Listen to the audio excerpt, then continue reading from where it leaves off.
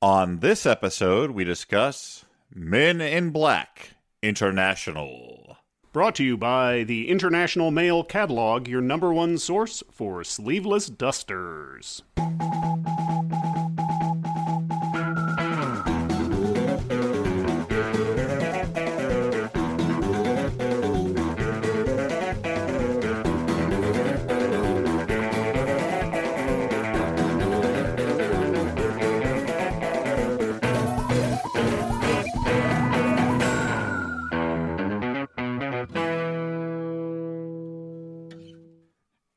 Everyone, and welcome to the Flophouse. I'm Dan McCoy. Hey, Dan, it's me, Stuart. Hey, Wellington. Stuart. hey, oh, okay. I'll wait till you guys say hello to each other before I, before I introduce myself. Have you guys seen each other not that recently, or what's going I on? I mean, we actually haven't seen each Like, the last time I think was when we taped last, and it's been a little while. Uh-huh. been- Well, we did a live show on Saturday.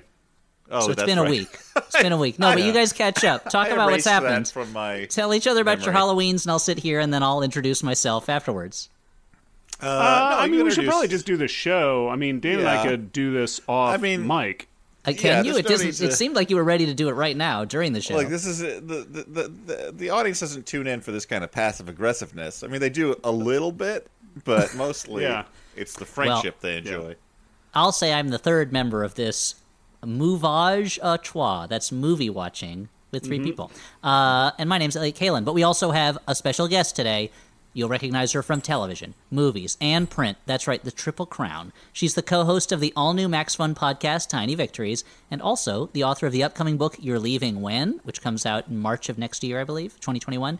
And, most importantly to me, she was the host for many years of Dinner and a Movie on TBS, where I learned how to cook pasta when I was younger. So please welcome, help us in welcoming Annabelle Gurwitch. Annabelle, thank you very much for joining us.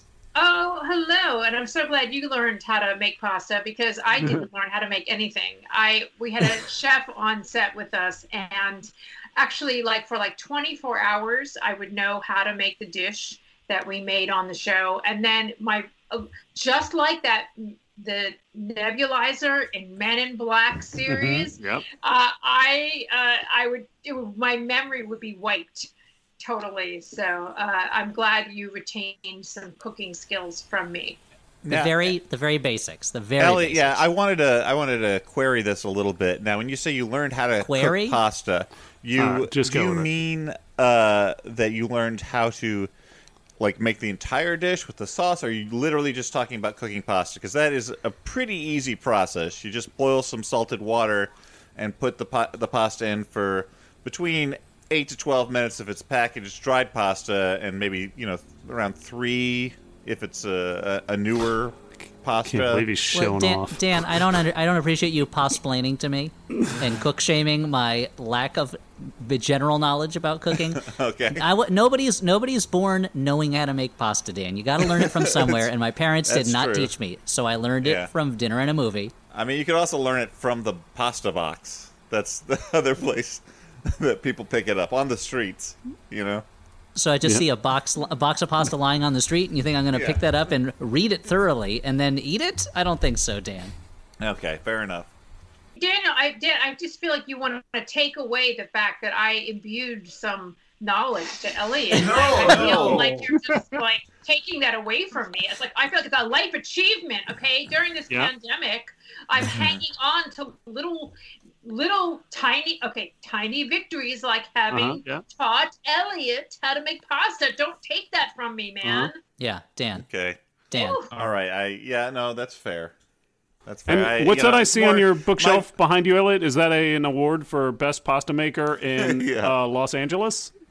Yes. Well, thanks to Dinner and a Movie, I did go to CIA, the Culinary Institute of America, and I became a master pastologist, and I did win the LA citywide pasta competition. Uh, and yes, and as you can see, the trophy is it's just gold pasta. It's just like gold linguine that's in a Yeah. ball. It looks like a Yeah, like it, a ball it of spells yarn. out. It spells out that's amore, right?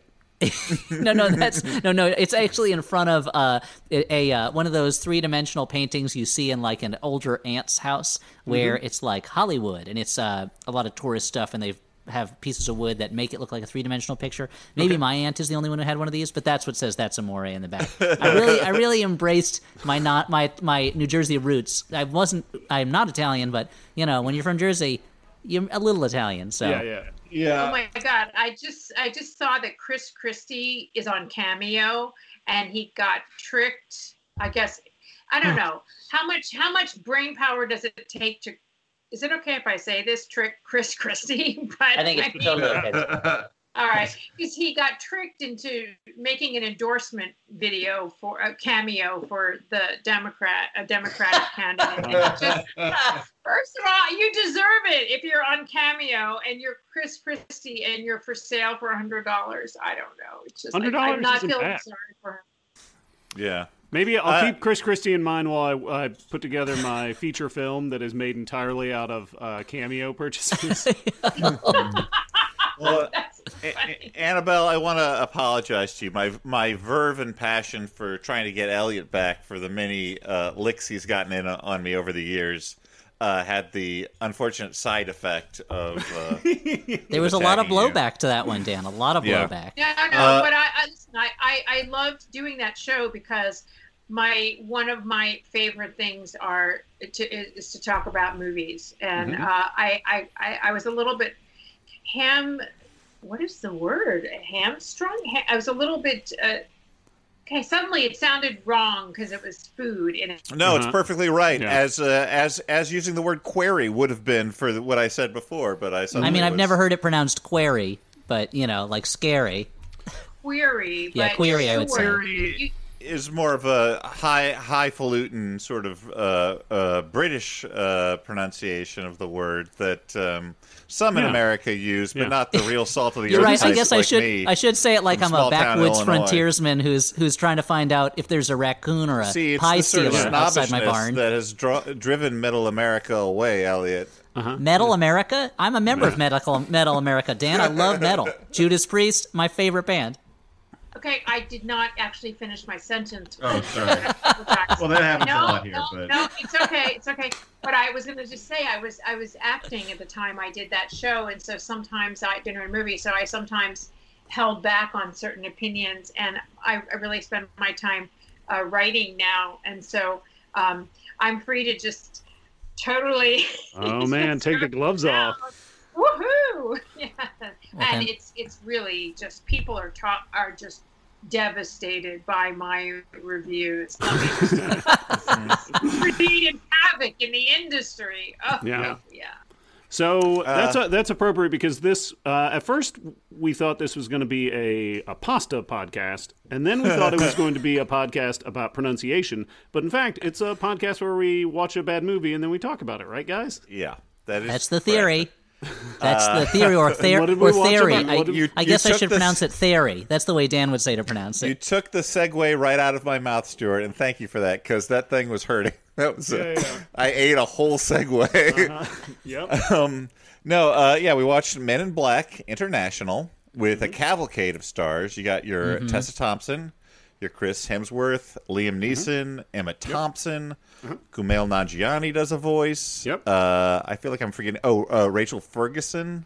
Uh, Rebecca Ferguson. Rebecca Ferguson, sorry. Uh, Rachel. I I can guarantee you've uh, Googled Rebecca Ferguson feet before, Dan. You can't with that mispronunciation. um, uh, yeah, Rebecca Ferguson, who you may know from uh, uh, the Mission Impossible movies, the later ones, and uh, wearing a hat in Doctor Sleep. Um, a lot of great that actors sure. in this movie. Um, and Elliot, I believe you are talking about it, or is Stuart? I'll be I'll be summarizing this film today. Now, just to keep get everyone back up to speed, because the old Men in Black movies have been a while ago now. Uh, they followed Will Smith and Tommy Lee Jones as two sec- super secret agents who were trying to uh, keep the Earth safe from aliens who are attacking Earth. By which I mean uh, fleeing to Earth for a better life. So uh, it was only while watching this movie that I was like, oh, this movie is about like space ice. These Men in Black movies are all about like if ice dealt with aliens and they're the heroes and also they erase people's memories routinely. They're kind of the bad guys, which is the place of Men in Black in UFO literature traditionally has been as bad guys who try Yeah. to cover up real UFO sightings. But uh, those movies flipped it on its head and they made us love secretive, uh, semi-fascist policing using taxpayer-funded advanced technology that we never get to see. Anyway, Yeah. Men in Yeah, Black are, they, International. are they a government agency? I, c- I, I can't remember. Well, in the in the original movie, it's I think they're a U.S. government agency, but here they are, as the title says, international. Yeah. So Yeah. maybe the UN is funding them, or maybe they just do it for kicks. I don't know. I I also want to note that um, there was actually a bigger gap between Men in Black Two and Men in Black Three than between Men in Black Three and Men in Black International. There was a ten year gap between the second one and the third one because the second one was a big flop, uh, and there's only a seven year gap between Men in Black Three and this attempted sort of reboot with other characters. And what lesson can we draw from that, Dan? I don't know. I just thought it was kind of interesting. What's Oh, the okay. the second one was a big flop. Yeah. That's Well, the one with I mean- Laura, uh, Laura Flynn Boyle, right? I can't Laura, actually Laura? speak to how it did financially. I don't think it did that well, but it was definitely not liked by basically everybody. And the first one was a huge hit. It was Yeah. Boffo Bo, and it, and that this Mm-hmm. pick had legs. Hicks did not nix. This sticks picks, and that's all the variety headlines I know. So let's talk about what happens in this one, Men in Black International. First off, we know this isn't going to be a regular movie because the Columbia Pictures logo shows up. There's Columbia, the personification of liberty in the Western Hemisphere, and she slips on a pair of Men in Black sunglasses. Uh oh. At first, I thought that was a reference to the Joe Cool character from the Snoopy comics, but no, I think it's Men in Black. okay, wait. I just realized something. I think I watched the wrong movie. oh, that's great. That's Oh. We can describe it to you. Okay, so that we'll tell you the story of this one. Uh, this was okay, perfect. So then let then you'll be experiencing this movie for the first time the way it was meant to be done with me ex- telling you about it. So Yeah. uh, we start off. It's Paris, 2016, and Chris Hemsworth and Liam Neeson. They're Men in Black London agents. They're called HNT. All the Men in Black agents. for movie. Uh oh. Which one did did you did, did you watch the first one? or Yeah, did you watch one did another you one? Watch? Okay, I'm so I must have like the worst case of COVID brain. I fine. watched that. It was so terrible. It was the one where they travel back in time. I think that's the third one. Oh wow. Which I would I would say is better than the second one. But I thought I was supposed to watch the third one. I Sometimes when we send literature, it's uh, not super clear. Did you write when you, uh, Elliot, when you wrote the email when you said Men in Black International? Did you just write three eyes, and that might seem like Men in Black Three? It's possible. it's possible. Elliot sle- fell asleep at the keyboard in the middle of writing international, and he just like he like just his, his nose hit the I multiple times instead Well, of finishing the word international. I have a typing problem called heavy finger, where Oh, my okay. finger sometimes lingers a little too long on some of the letters and multiplies them. Okay, well, uh, don't worry. We're still gonna have. We'll, we'll try to fit. Fit. I want you to actually, while we're going through, I want you to tell me if this was Men in Black Three, what would they be doing at this point in the movie? Because I've never seen Men in Black Three, so Me I feel like we could both teach each other this time. okay. At this point in the movie, we are at the uh, lunar prison, the international. Yeah. It seemed international to me. Uh-huh, yeah. How would I? I mean, it was like they were at the international lunar prism Uh-huh. prism. lunar prison where Yeah. they were where a troglodytish kind of person uh, is i mean alien is breaking out to come and uh, come back to earth and wreak havoc and they have to travel back in time to tommy lee jones's past Yeah. uh, and to uh, for will smith to uh, to to to right a wrong that wasn't to finish uncompleted work. You know Yeah. when they do that in a in a Mhm. sequel, you know Mhm. the the work that's the, there was something left unfinished. Yeah, and they yeah. have to go back in the past, and it's going to change everything. But this was the what what happens in that movie. I'm just going to give you the brief summary. Is that was one of those movies where they seek to give you the backstory, the heartwarming backstory Uh-huh. that you don't give a shit about. You just campy fun. But it was fun and funny, and they're just gonna deny you that and try to pull at your heartstrings, and you're like, no, no, that's not Yeah. what I'm tuning in for. Give me my funny aliens. I don't want to know Will Smith's backstory. I just want to see him be charismatic and be Will Yeah. Smith. That's the movie in a nutshell. Okay. I mean, this there's similar stuff going on in this one, as you'll see. Uh, I will also mention though, how how great would have been if he had to go into Tommy Lee Jones's actual past, and it's like he's on the set of Coal Miner's Daughter, and Will Smith is like, "We got to stop these aliens," and he's like, "I don't understand what you're talking about." Yeah. So we'll see that that movie sounds kind of like this one in some ways. So it's Paris, 2016. Agents H and T, that's right, Chris Hemsworth and Liam Neeson. They're from London, but they're in Paris, and they are they're kind of they're those kind of smug, like, uh oh, another adventure. Well, let's let's let's stop this one, old buddy. And they interrupt a marriage proposal at the Eiffel Tower because the Hive, a kind of vague alien menace that absorbs other species and planets, are invading Earth. Ah, can they stop them?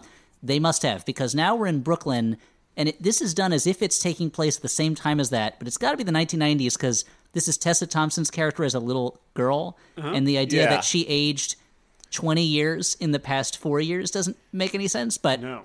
it's it's weird that they would go to 2016 and then without saying the year again go way beyond that but uh Mo- this little girl molly uh, she encounters a kind of like stitch looking alien like lilo and stitch Yep. and her parents That's are like what it looked like. yeah, the parents are like there's an animal it's some kind of animal and the men in black agents show up they erase her parents memory but they don't erase hers and she helps Now- that alien escape by basically saying go out that window right now she doesn't really do Yeah. that much to help it Now, I want to talk about a problem uh, that I have with uh, the Men, Men in Black uh, procedurally. okay Because, uh, this is the right form for that yes yes, uh, so Liam Neeson and Chris Hemsworth and these two agents outside uh, young Tessa Thompson's uh, house do the same thing. They both explain what's actually happening, the alien thing that is actually happening, Yeah. and then they neuralize them. And I'm like, well, why are you explaining this to these people beforehand if you're just going to erase their brain? Especially when, in the second case, it allows Tessa Thompson to overhear you talking about aliens. Yeah. Do you think You got- part of the way the neuralizer works, where you have to like say, by like saying it, it brings it to the forefront of your brain, and then you're Oh, like, time to wipe that chalkboard clean. Yeah, I know. I have a problem with the procedural aspect too of all the Men in Black movies with that aspect because I also feel like why don't they show us the story of the actual repercussions that happen from that one of just one in like there's always like a Yeah. crowd right Uh-huh. and so like uh, like someone goes home and their wife is really pissed at them because they can't remember where they were. Oh yeah, likely story or does it just uh-huh. delete that time? I mean, I really need to know like how Yeah. that works. Somebody Well, gets they- arrested by someone gets arrested by the regular police, and they're like, "Where were you last night when the murder took place?" I don't remember. I wasn't Uh-huh. there, but I don't remember. I didn't do it. And they're like, "Okay, throw him away." And the men in black are like, "We could testify on his behalf, but then we'd have to reveal there are aliens." So yeah. Well, they sorry, do buddy. fill in the everyone's memory with a false memory after they neuralize it. That part makes makes sense to me. It's just like, why do you have to like? It really feels like they're just like fucking with these people. Yeah, Yeah, I mean, well, that's like also you- possibly part of it. The real screenplay reason is they're explaining to the audience what's going on. Uh, but it just, Oh, I'm just like, why? Why is this happening? But Thank you, it's another Stuart. one of those issues that I'm just going to go super, super serious with this series because, you know, it, it's it, it exists on so many levels that are troubling. So, yes, there is this sort of fascist sort of element to the ICE group that you know the, uh, itself. Which is probably, I'm sure there's some Reddit somewhere, some Reddit thread that someone speculated that the ICE organization in Men in Black is funded by Bill Gates or something. Yeah. Yeah. But This Oh, is sure, in yeah. this is in fiction, right? Not in the Yeah, real yeah. Reddit or in real Reddit as well. no, in real Reddit, real Okay. Reddit. You Yeah, know, it's but- QMIB, yeah. There's there's like this sort of like fascist undercurrent of all the things the government's not keeping from you, paired with the fuzzy, uh, uh, cute alien universe. Because Uh-huh. it's it, it's just sort of a funny di- dichotomy there that I it just it it's just sort of a clash for me. In the first Men in Black, it was just all so silly and campy that I went with the sort of okay fascism. I'll go. You know, you're fun, fun fascism, right? And you're also you're also coming at it as an outs. I feel like in the first movie you are thoroughly with Will Smith, and you are coming at this world as an outsider. And there's something about an outsider who is like learning about this new world that is makes it slightly less scary. I Well, know, I also don't. I mean, I don't want to be Men in Black apologists because, like, sometimes they do seem to just be like, okay, these are uh, uh, illegal aliens. These are they haven't gone through the pros- prop, proper channels. But at the same time, like, you go around Men in Black headquarters, there's plenty of aliens working there. They seem to be like cool with aliens in general. So There uh, are you know, it's so a- many aliens. I It's- feel like so much of the movie is people walking through rooms filled with aliens. Like I feel like when Guillermo del Toro was in the movie theater, he's like, "More of this, just more of this." Well, it makes get me the story. It, it makes me wonder why there's so many aliens that work there. Why are aliens a secret? Right, Yeah. but also, okay, here's another anomaly of the movies, and and this is where I I think it I take it you know I I'm taking this very take I take these things very seriously. So, in the Star Wars uh, series, which I hold very sacrosanct because I am that kind of creepy person, Uh-huh. um, you know, uh, the aliens, the funny alien out costuming, and you know, like the Jabba the Hutt uh, uh, set pieces, right? Uh-huh. In the bar. That's intended as comic relief in the middle of a Joseph Campbell uh, mythological uh, hero's call to action film, right? This is the co- continual uh, saga being played out in Star Wars. It's a serious movie, then you get these funny aliens. In the first Men in Black, the funny it was all just funny aliens, right? But then I feel like they start to mix up their themes, and then I'm not sure if the funny aliens are the point, if it's a, if it's what kind of I'm not sure what world we're in anymore. I get very confused. That's that's an issue that I had with this movie too, because I was not sure when I was supposed to care about things or not, or what was serious and what wasn't. Because, well, let's get back into the movie. I think that's a good point. We go so it's present day, and now Molly is all grown up. She's Tessa Thompson, and she's applying to all the you know the FBI, the CIA, trying to figure out how to join the Men in Black, but she keeps getting stonewalled. Luckily, at her tech support call center job, her computer can track space anomalies, and she tracks uh, the I suspicious mean, she trajectory. probably you know installed a, an extra program. I, I'm guessing that what didn't come with. Uh, Well, I no, don't think IT put that on there. It's I probably the one she not. has in her apartment with the super killer graphics. Yeah. Yes, well, yeah. she and she is logging in as a, an, Can I interrupt you for one second? I don't know if you you follow this sort of stuff, but as someone who once, you know, was like a well, I was like always a Star Trek girl and stuff, and so uh, I follow this stuff. But um, the intelligence agencies now allow for you to have smoked weed. I just wanted to mention that they didn't used to Oh, allow it okay. on the applications, So- and just in case any listeners out there thinking of a career change during COVID, Are you recruiting? Is this like a backdoor recruitment? now I, mean, I love the idea of like a, like a like a CIA agent who's like, "Hey kids, you know what's cool? Uh-huh. Getting high and protecting your yeah. country." I mean, now the one thing you know that was stopping me has been removed. I mean, other than the fact that I'm 42 and I haven't trained in any sort of you know analysis or How many people- geopolitics. Have been uh, quarantining at home, thinking about a new career, smoking a Sure, lot of weed. Yeah. Young people, young people just out of college, smoking a lot of. They're home. What are you going to do? And they're Yeah. and now they're listening to this Yeah. and they're thinking, okay, I mean, young people don't listen to this, but that's okay. Now, a surprising number do. I don't know why, because they're all like Yeah. these are all like middle-aged people references that we make Yeah. for the most part. But uh, it's like uh, it's the comfort of uh, hearing your dad's weird friends in the next room. Yeah, yeah, exactly. Yeah.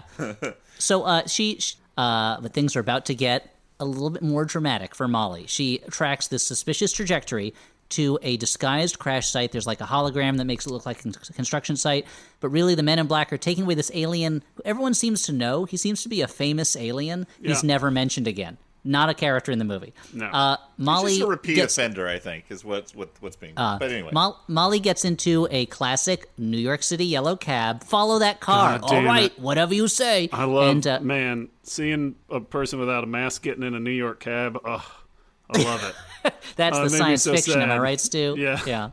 Uh, she follows them to Men in Black headquarters and she tries to sneak in by walking right in. Like she doesn't have just- much of a plan. It just occurred to me is this is where she told them to keep the motor running, right? Is this Yeah, so he's still waiting like for keep her. the meter running? Sorry, I mean. well, no, he, she tells him to keep the meter running when they get to the crash site, I think, Uh-huh, yeah. Uh-huh. and then she goes follow that car. So Oh, okay. I thought I, I like in my head. I'm like, wait a minute. Did she just abandon that cab? Because if if she did, we were denied the post credit sequence of that cab still waiting for her. and the Yeah. meter is classic up to like forty thousand dollars, and he's like, "This is gonna put my kids through college." exactly. Yeah, he's Uh, rubbing his hands together. He's like, "This is gonna be the best fare I ever had." But he's yeah, like and hungry, and he's been holding eating in the. he's eating his shoes at this point. Yeah, 'cause- he's He got a really big has beard. to use the bathroom, but he can't he can't get out of the car. Uh, so she gets caught and taken to O, played by Emma Thompson, the head of the office. Now, all the Men in Black agents worldwide are called by one letter, which leads me to believe there are only 26 Men in Black agents there's in the so many entire people world, in the office. and and I guess four more in Spain. But it's Yeah. like uh they don't. What do they do when they run out of letters, guys? What do you think? Oh, they double it. It's like 007. Oh. Double K. But what about W? See, that's where you run into problems. yeah. You got to skip directly to triple U if you're going to do that. Yeah, the W agents are like, no, hmm. d- ah, God, please Yeah. don't do W me. Mm-hmm. Don't W me. Don't don't you don't you W me? Don't you do it? And you know uh-huh. that Ag- Molly becomes Agent M, and you know that she's she and Agent N are always getting mixed up. She's always getting Agent mm-hmm. N's call, uh-huh. and uh, Agent M Yeah. N is always getting Agent M's call. It's not a good system, I guess is what I'm She, saying. yeah, she's always has to be like M, like in Marshmallow when she mm-hmm. introduces herself to people. Exactly. And Agent B and D, it's it's not a good. Oh, anyway. So Emma Thompson is like, I've been impressed by your dedication to this, and also how pathetically lonely you are. Because Tessa Thompson says that relationships just distract you from the truth. Now we know what she's about, learning how to love and trust. And she mm-hmm. recruits her as a probationary agent. She does not get her neuralizer until she completes her first mission. And the neuralizer again is the is the amnesia device. Yeah. I love that that's the one thing you don't get. She gets to shoot all kinds of, you know, extremely dangerous weapons, but the neuralizer is the one thing. They're Yeah, like, because it's too "Ah." much. Uh, so now we go back to London. Chris Hemsworth is going undercover to infiltrate alien smugglers, but he gets caught by them. He gets bitten by a three headed snake, and in exchange for the antidote to the snake poison, he sleeps with the smuggler's alien wife. So that's the kind of hero we got. He's somehow the best agent they've got, even though he's always messing up, always breaking the rules, and is like having sex with his suspects that he's supposed to be watching. So how is he the best? He's like a Captain Kirk type where it's like he's the best of us, even though he does everything wrong and Well- causes bigger problems. So I've got a little bit. I do have a problem with this arc, Elliot. I agree with you, uh, but for slightly different reasons. Like we learn that his tragic backstory. Like I'll, we'll, we'll talk about it in more depth later, but it, we learn that his tragic backstory is basically just a bad breakup. I mean, like there are extra levels to it, Yeah. but let's just say that. And it's the way he acts is so out of proportion to that. Like he used to be the best agent, and now he kind of is like halfway to a Captain Jack Sparrow type, where he's like this sort of like dissolute, like he seems like sort of drunk, and he doesn't really t- care about. Well, Wait, are you saying. Captain Jack Sparrow was a drinker? what?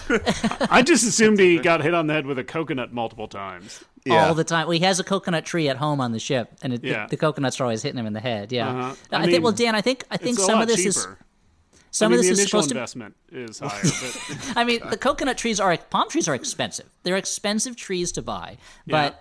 wh- If you want coconuts, that's what you got to do. You're Yeah, not going to get the them from any other type of tree. Just try it, Dan. I uh, tomorrow plant an oak tree. Wait forty years, fifty years. You're not going to get any coconuts from it. Stuart, Wait, Pla- I have to ask you a question. Wait. Uh, are you saying that Will Smith and Tommy Lee Jones do not appear in this movie? They're- they are they're never in this, movie. never in this I have to I have to assume their characters died between films, and so nor now are they mentioned. and they're never mentioned. And it's yeah, at Rip Torn, who you know, of course, passed, but he's not mentioned in the movie, even though he's the head of the organization in the old one. There's this is it's almost like this is an offshoot from a different reality where the agents we came to know and love in the original Men in Black movies they don't exist. This is a totally different system, and uh, there's so Dan. But some of his personality change, I think, is supposed to be because of what happened to him in Paris that night.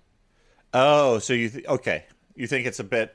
So well, that's even worse though, because then the Men in Black are going around making everyone loopy with their neuralizers. Uh, spoiler when, alert when, for the when you use the end, but- neuralizer, you turn everyone into like a into like a big boorish kind of like A big you know goof. boozy goof. Yeah. Yeah.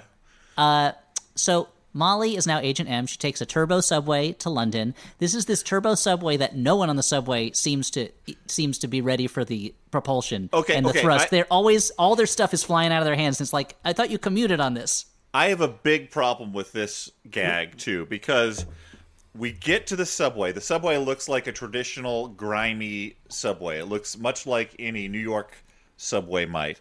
But there are a bunch of aliens walking Well, not around those news platform. stations up on not the news stations in the All Upper right, East Side. Alex, let me get my point out.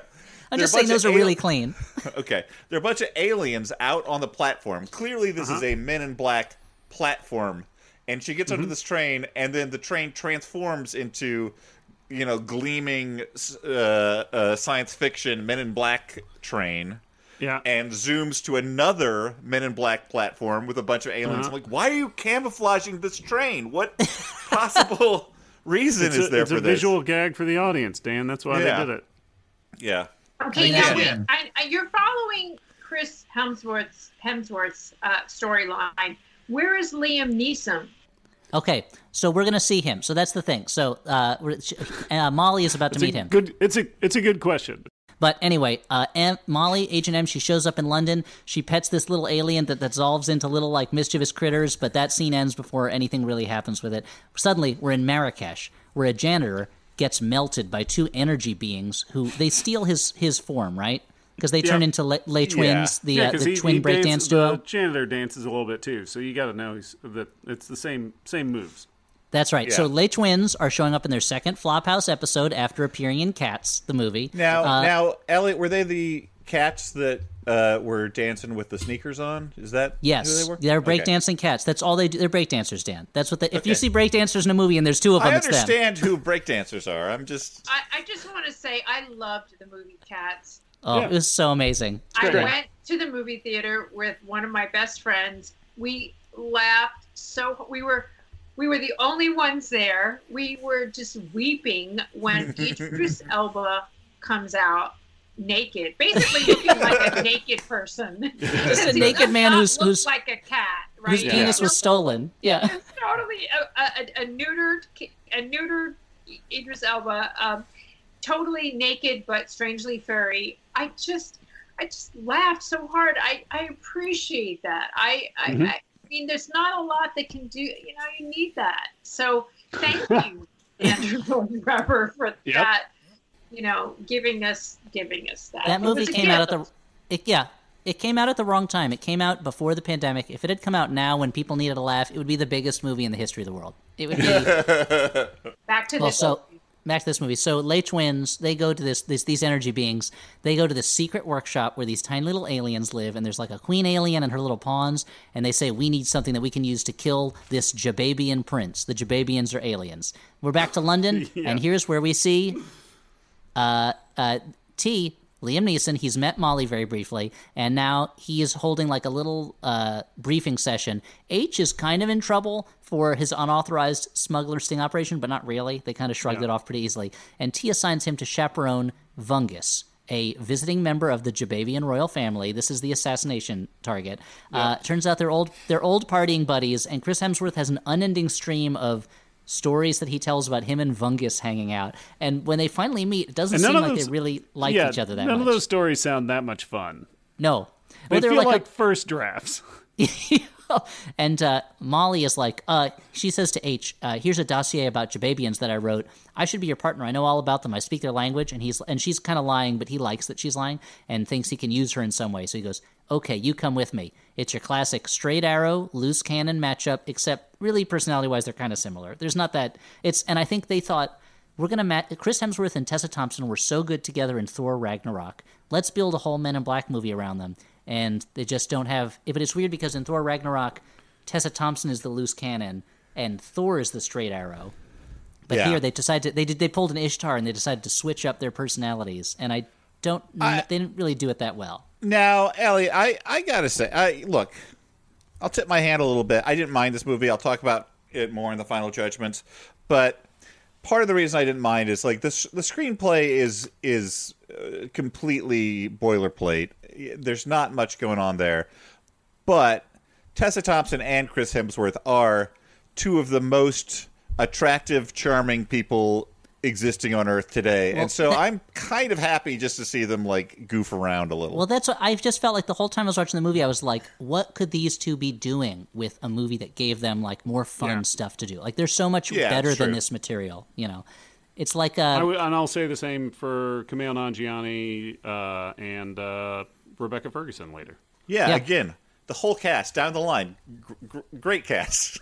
Emma Thompson and Liam Neeson, of course, not capable of that much. So here I was like, I was wow, like, wow. it's a joke, guys. Come on, you know I'm joking. I would never say that about Nanny McPhee. Come on. Uh, so, so they go to. I, I, can I can I can I just say I I love Emma Thompson so much that she's you know the thing about her is that she's super you know Shakespearean trained British actress and she's just will go for these things like I just I thought she was great in Nanny McPhee I you know like the, just the the way she embraced like the bad teeth thing like she Oh, just yeah. she'll just go there She did She doesn't- Shakespeare and stuff through like you know she was with Kenneth Branagh, uh, uh, and that was kind of her breakthrough to America when when she did those movies with. But like she started out doing sketch comedy. Like she has a comedy background. and She's very funny. That's why she's so good in Late Night, your favorite movie. God damn, that movie is so bad. Like I, I haven't lo- seen it. I like the people involved, but it Yeah. gets everything wrong about about working as a late night writer. Dan, Every you told me single you were up.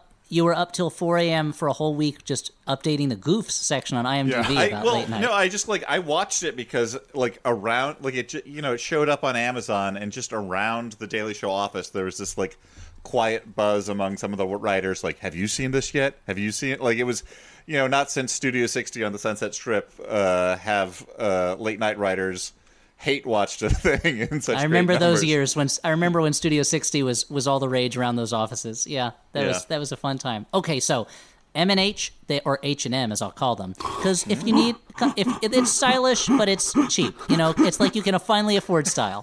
Thanks, Stuart. I They, uh, can't tell whether that was genuine or not from Stuart. That's no, it was way- not. I don't think so. I think Stuart started off faking a laugh and then started laughing at his own fake laugh, and so it turned genuine. So they go to a literal underground club. It's literally under the ground where Vungus is just hanging out all alone. This guy Filled who with needs an- people, filled with human beings.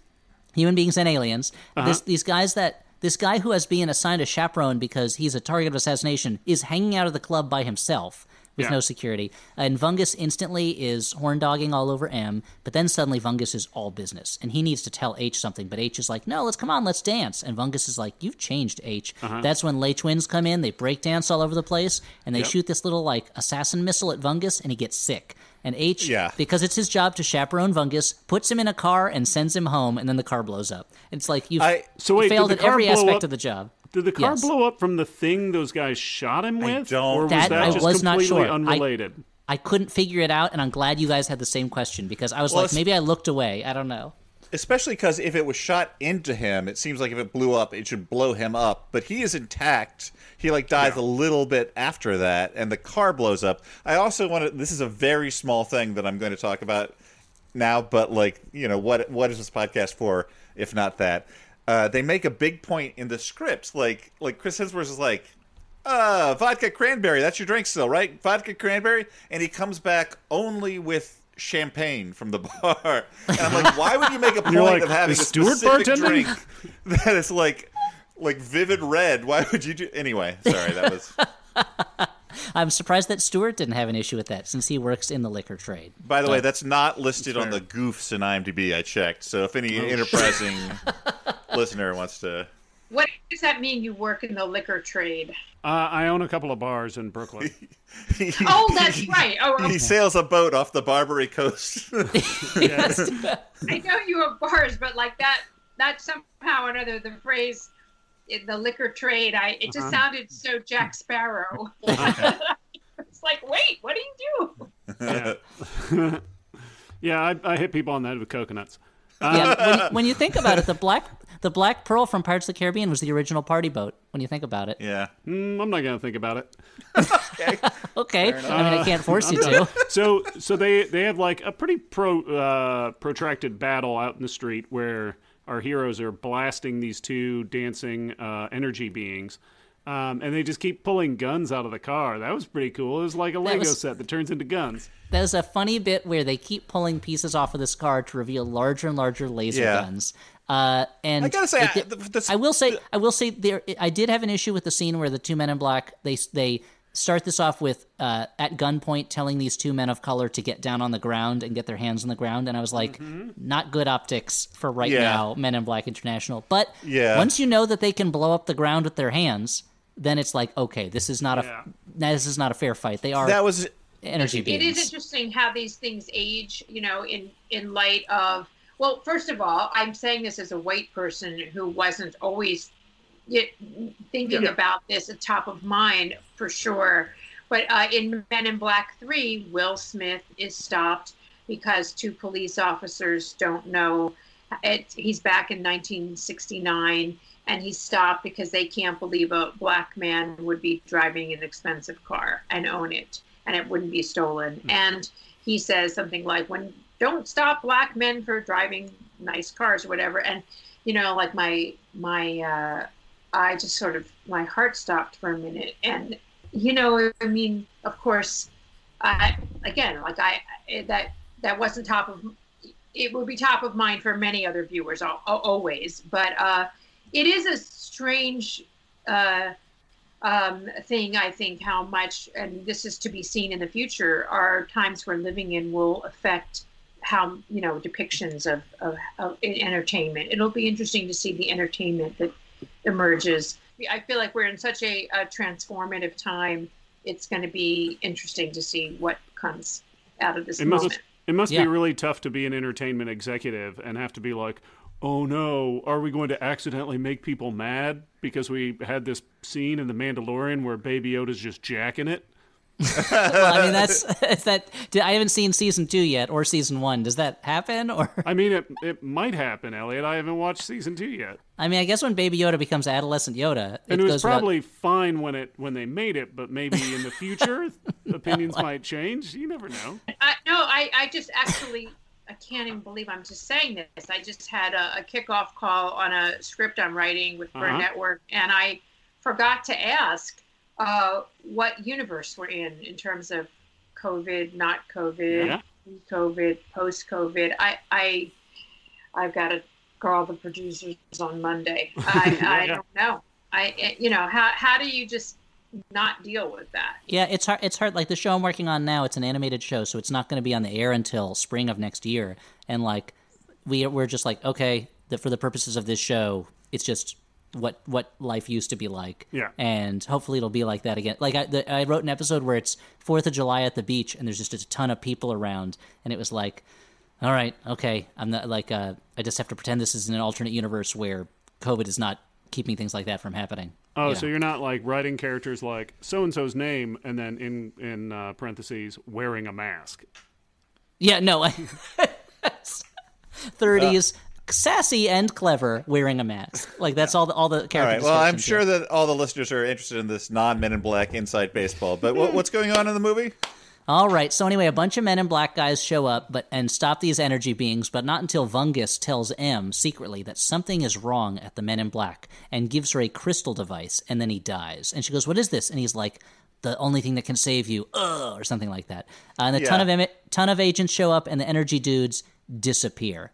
Could I just say, uh, just a little lesson to? I just want to, you know, uh, for people in movies who are about to die, you know, maybe take Oh, good. my I- a lot of them will. A lot of them will hear this. Yeah. Yeah.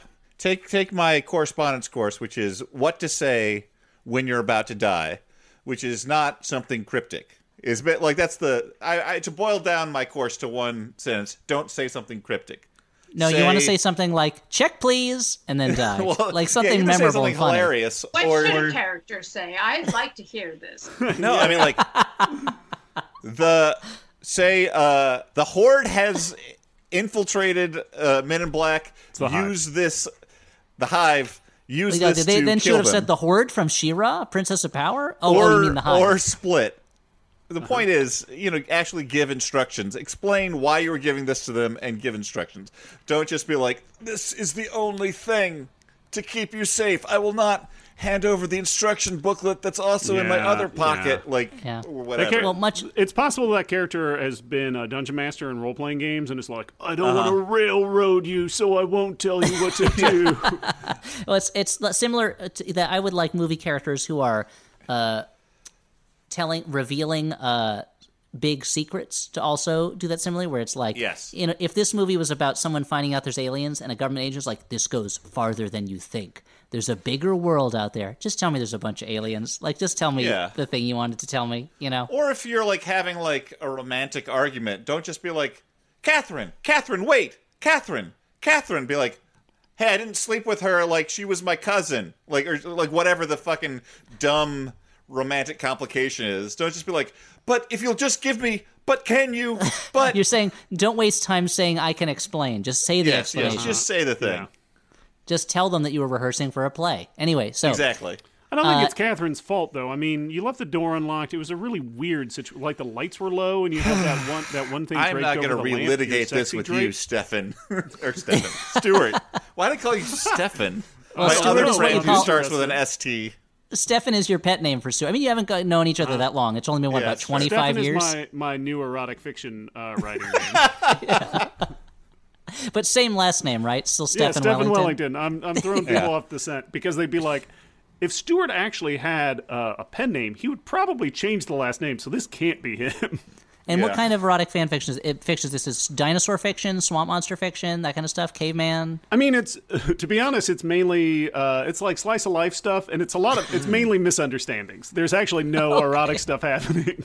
No, I think uh, Stephen Wellington writes Twilight fan fiction. Oh, Hmm. wow. And maybe it could be about, say, like a young woman who starts, uh, gets a job working for like a high powered rich guy, Mm-hmm. Yeah. and BDSM is involved, maybe. I don't know. We'll Uh-huh. figure it out. I'm, I'm still working on it. No, sorry, Stuart. It's called Shopgirl by Steve Martin. It's been written already. Also- so anyway, Also, Stuart, you miss you you mispronounced slice of drife. Oh, yeah, I, I assume you're writing Drife. Slice of slice of drife. that's a callback to what the what ep- that was a, a different Hemsworth who did that episode, who was, did that movie, right? Yeah. So I have no I have no recollection. I just remember that. we did a, we did a movie about a where that was I think a Liam Hemsworth vehicle that Richard Dreyfuss was in, in which we pitched a movie called Slice, Slice of Drive, where it's just Richard Dreyfuss's normal life.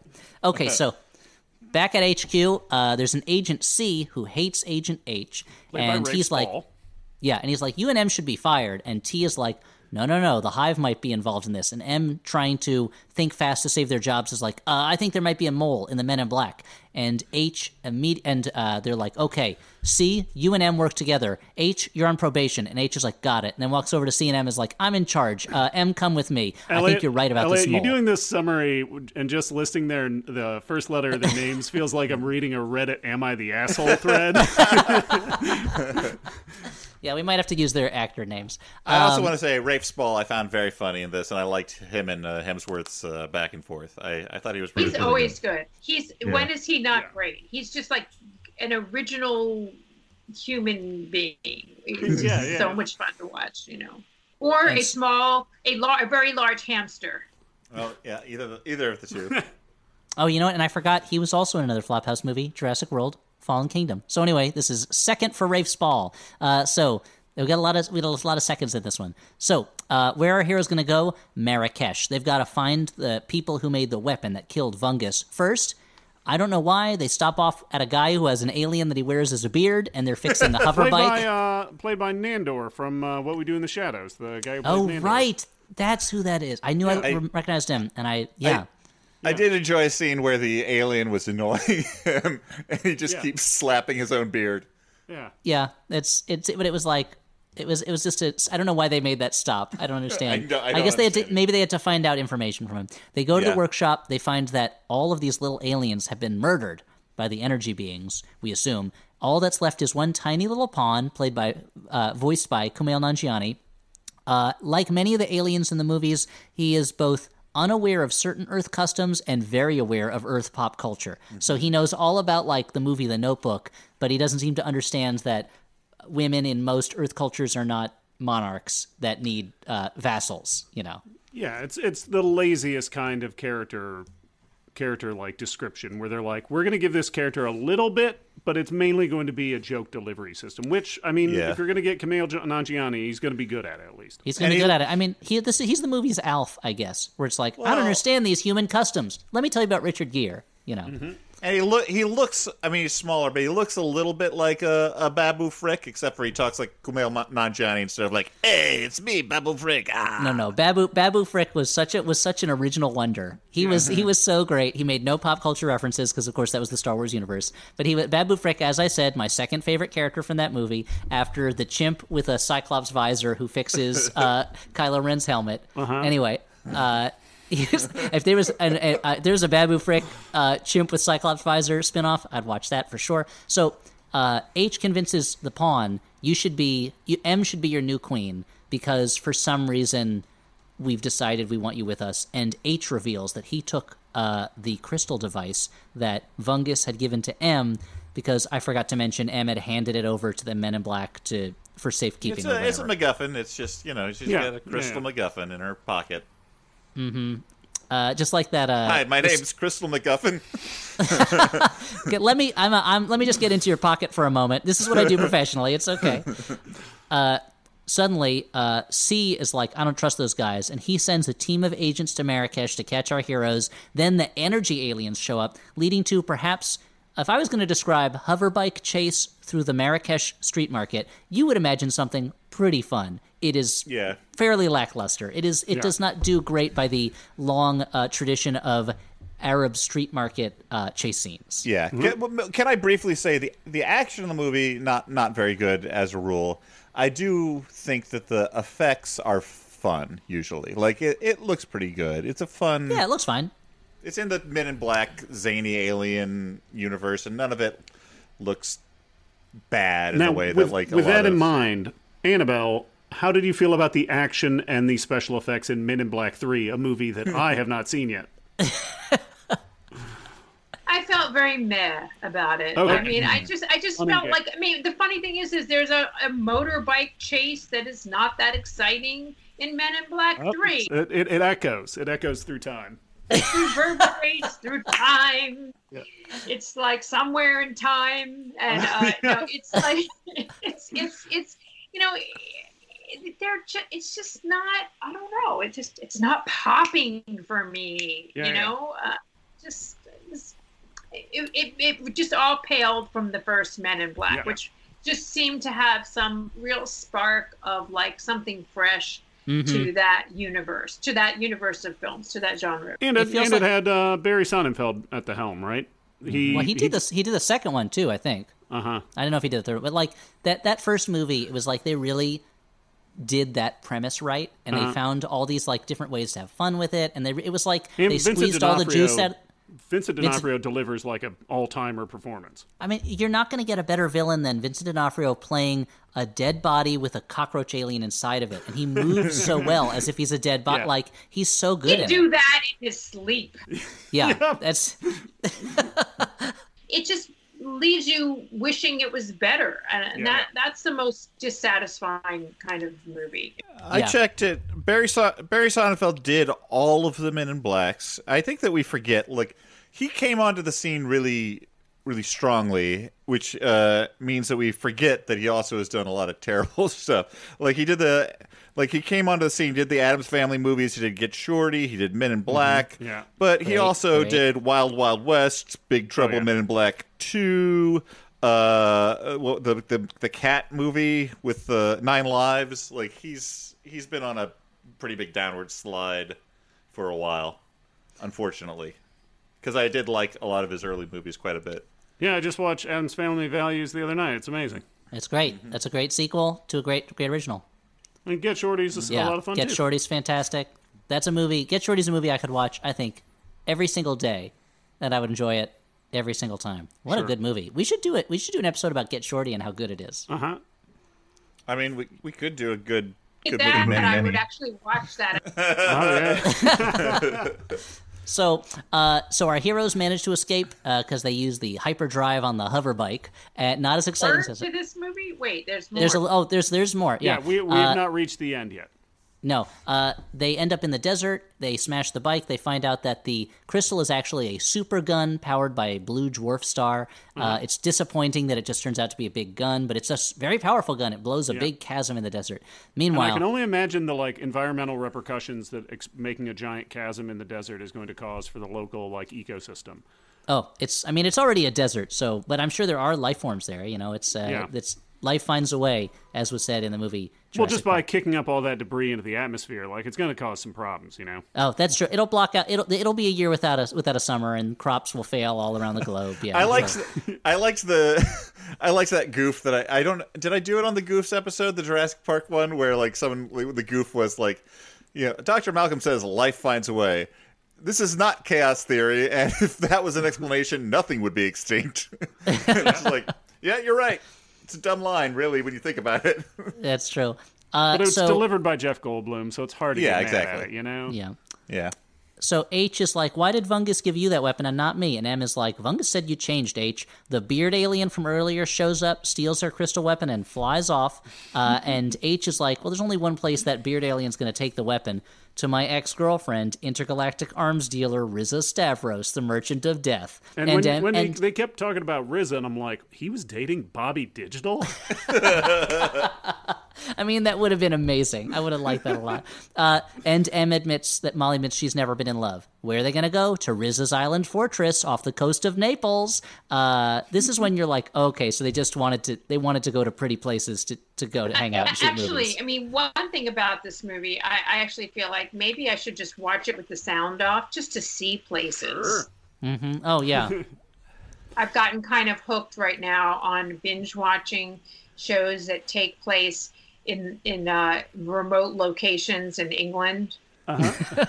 yeah. I I will say that I did have the thought while watching this movie, I'm like, maybe I'm being more easy on this movie because it is being Men in Black International. They are traveling the world, and I'm like, well, that's the thing I can't do right now, so yeah. it's fun to watch. Unlike, I mean, because at home right- now you're just catching aliens and blanking out people's memories in your apartment. know. And you really miss Yeah. doing that in other places. Just walking Hey. into the bathroom and being like, okay, all the Would- aliens come out. I think everybody here would like to sign up to be neuralyzed for 2020. You know what I mean? Get this year wiped out of our heads, right? you Yeah, know what I right. mean? Yeah, you're right, Stu. Anyway, Uh-huh. so uh, long story short, uh, it is not uh, the hip hop legend RZA that they are going to see, but of course Riza Stavros, played by uh, Rebecca, Rebecca Ferguson, Ferguson, yep. and she is like. They, they try to sneak into her fortress. H tries to charm her way in. They both get caught, uh, and they're fighting each other. And then it turns out that the alien thug that H is fighting, who works for Riza, it's the same alien that Molly helped escape when she was a little girl, and so he helps them get the star gun crystal weapon Yeah. back from Riza. And It you, is you glossed a- over Riza's three-armed fighting technique, which was pretty cool, kind of like uh, like Shiva from the Mortal Kombat movie. That's true. Or She- movies, or- or, uh, games. yeah, They're kind of like uh, movies. They're so advanced. You know, the graphics yeah, are so or killer. Or Spiral from the uh, from the X Men comics. Yeah. But it's I also- it, it was the kind of movie where I feel like both Tessa Thompson and the movie kept forgetting that Riza has three arms, Yeah. and then she'd suddenly Yeah. remember and use it to fight with. I did like the the line though that uh, you didn't mention here, where uh, uh, Well, I can't I can't reenact the whole movie. No, Dan. no, no, I gotta no. skip I'm- some of the dialogue. specifying that uh, Tessa Thompson, uh, you know, like says back to the alien the thing that the alien said in alien language when she was young, to be like, "Oh, I'm the same," and she's like, "He's like, what?" And she asks what it is at a certain afterwards, and he's like, "Oh, it means uh, I will." Thank you. I will kill whoever you want me to in a protracted and violent manner, something like that. Yeah. Whenever you ask me, I'm like, that's hilarious. That, that that was the promise he made to this young girl that she didn't understand. So that the joke I laughed at during the movie was when Tessa wants to drive a car. She wants to drive the car, and Chris Hemsworth is like, "I'm going to drive," and Tessa Thompson races ahead of him and gets into what in America would be the driver's side seat, and then Yeah. is actually the passenger side seat because they're in England. I was like, "That's a funny joke. I like that. Yeah, that." I liked it.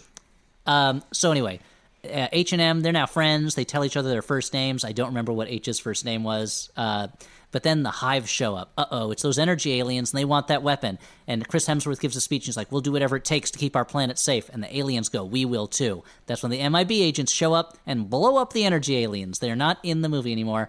and uh, Molly gives T Liam Neeson the crystal.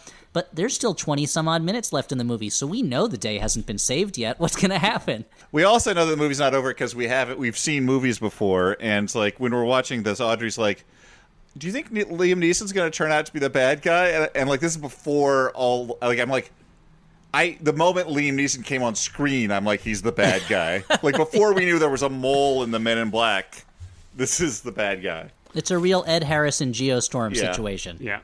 Unless Uh, unless Liam Neeson's family's taken, he's probably the bad guy. Unless these there, there's wolves in the movie, Liam Neeson's probably the bad guy. How disappointing was that movie that in the trailers they made a big deal out of him breaking those airplane mini bottles and strapping them to his knuckles so he could fight a wolf. And that's the last minute of the movie. Yeah. Like that's the, end shot, of the movie. Uh-huh. What a disappointment. I was like this movie's going to be fun. And that's it's these guys dying slowly in the winter and then finally he fights a wolf. Anyway, Yeah, yeah. it It's happens like off uh, camera. it's like uh, it's like Meet Joe Black. Like you meet him pretty early on, right? And then you're like, "Fuck it, do I have to watch the rest of the movie now?"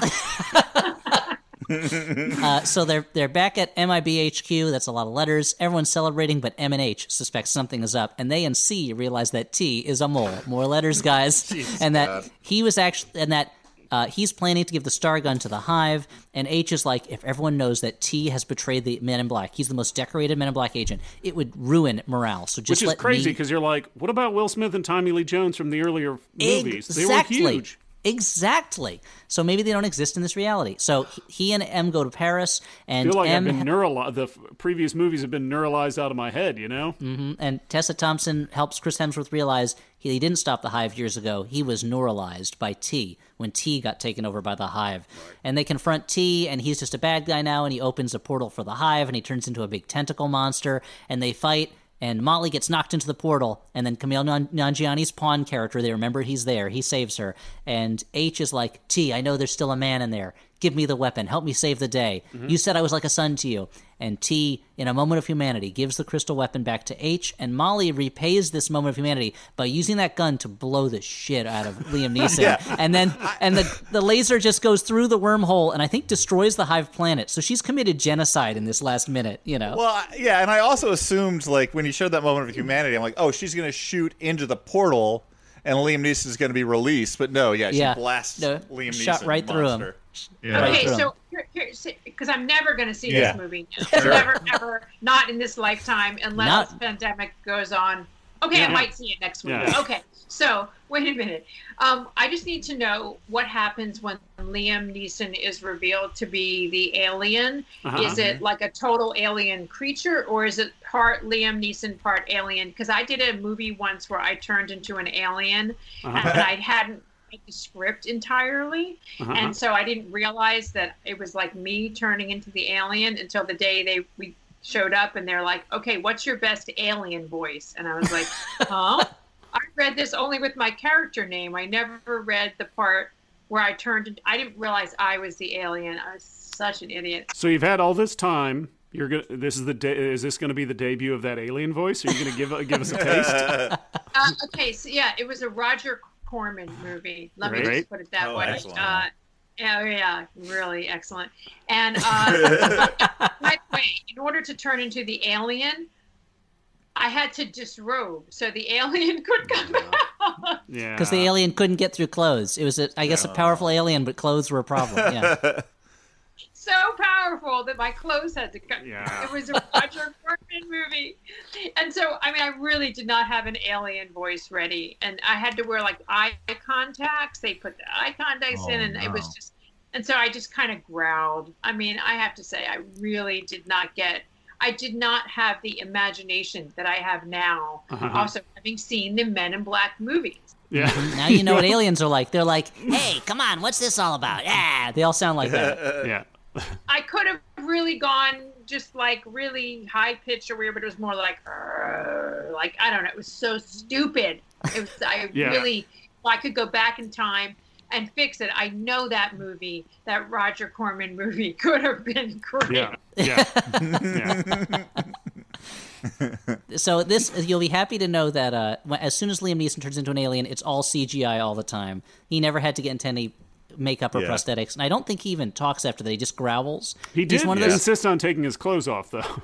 Yeah, That's true. Yeah, he does. He does disrobe, and it takes a while. Like he's doing a real. It's a mm-hmm. real striptease. Yeah. Yeah, and He's he, swirling he his keeps tie. eye contact with the camera the whole time too, which makes you very uncomfortable as a viewer.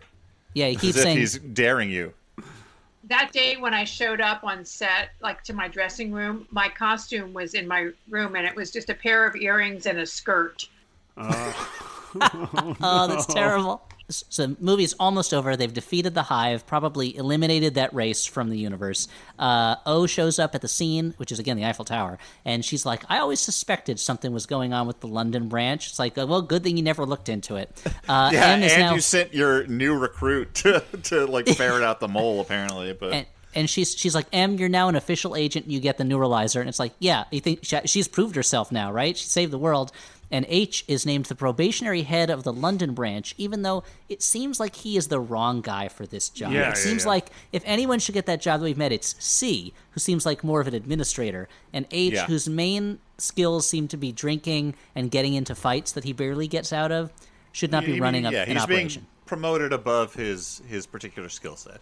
Yeah, Yeah, like and- sometimes a really great comedy writer might not be the best manager of uh, like a team of comedy writers, right? I'm just trying to I give mean- you guys, you know, something to latch often sink it's often the case. Uh, So M is assigned to the New York office. It's a bittersweet goodbye between H and M. But later that morning, I guess it's like daybreak. M picks up H in his car. I guess he was just hanging around thinking about all of his new responsibilities. And she says she's assigning Pawnee, the uh, Kumail Nanjiani tiny alien, to keep an eye on H. So he's just going to hang out with H. And she's like, he's like, let me tell you how to drive that car, this flying car that I forgot to mention they have. And she goes, I'm going to follow my gut. And it's like, that's what he told her to do is follow her gut. And then there are over 10 minutes of end credits. So the Yeah. movie is shorter than I thought Which it would I. I fast forwarded through because like we were like, oh, surely if any movie has like an end credits thing or like some bloops, uh, it'll be this one. Nothing. It's going to have Rebecca Ferguson being like, I want my revenge on H or something like Yeah. that. But they didn't have anything. It's nothing.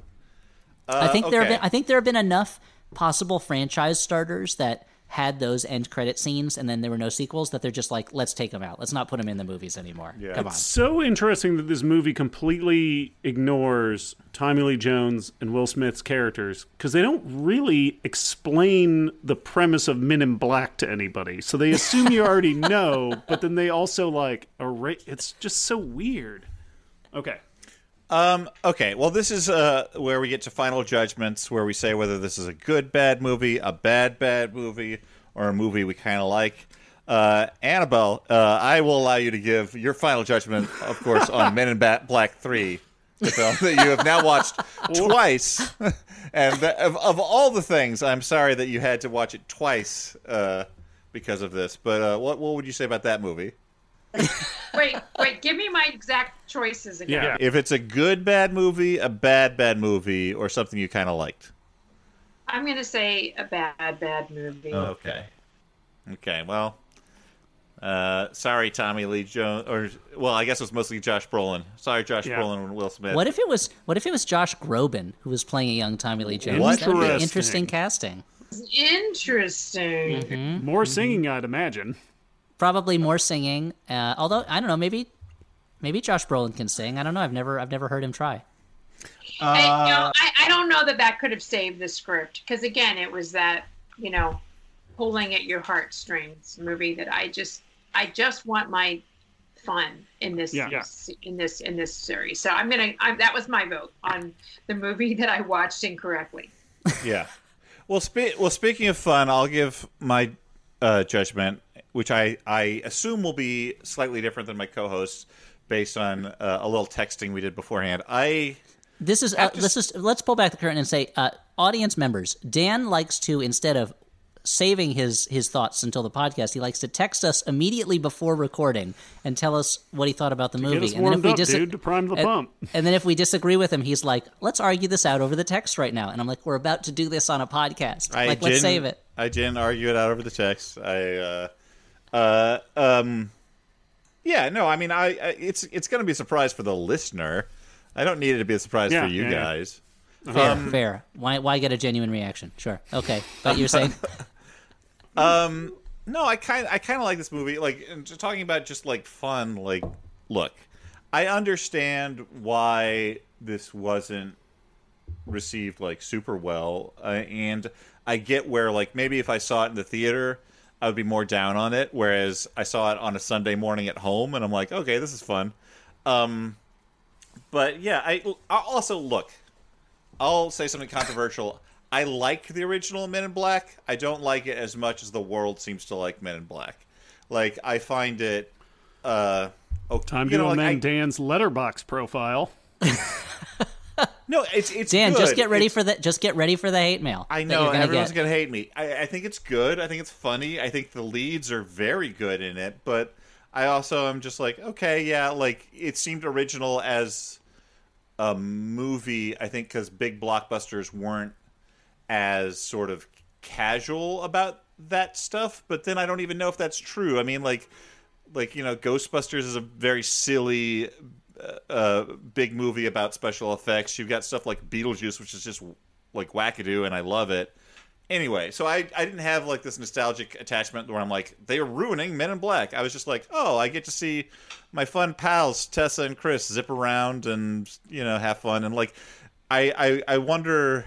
I'm suspecting that Elliot's problem is partly that uh, they didn't react ever as if there were like any stakes to what was going on. That it felt too light. But I feel like that's always been part of Men in Black. Like, Don't they're- put words in my mouth, Dan. Don't put words in my mouth I'm just mouth. suspecting. You have your chance now, and you can say it now. I I, I Okay. kind of liked it. Point by point rebuttal. One, Okay. Men in Black is the most original movie in the history of film.